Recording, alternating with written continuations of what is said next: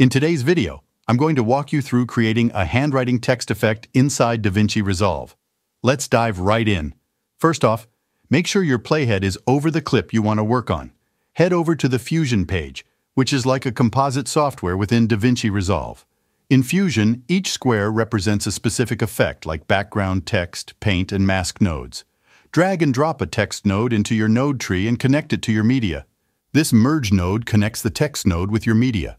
Now drag the media out node into your viewer so you can see what you're doing. Click on the text node and type your desired text. Choose a suitable font and adjust the size and tracking as needed.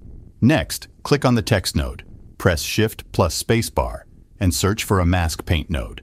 Click Add to apply it to your text. Your text will disappear, but don't worry. Click on the mask node, go to Mask, and click on Invert to make your text reappear. Now, click on the brush icon, go to Stroke Controls, and change the stroke animation to Write On. Adjust the brush size and softness to your liking. Click and drag the brush over your text to generate keyframes that will animate the effect. Make sure to maintain consistent speed while dragging the brush. Once done, keyframes will appear. If the animation is inverted, uncheck the Invert box in the Mask node.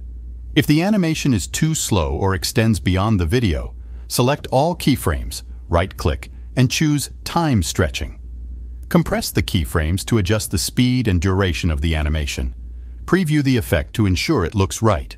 You can take your time to perfect it. And that's how you create a handwriting text effect in DaVinci Resolve. If you found this video helpful, be sure to subscribe to the channel.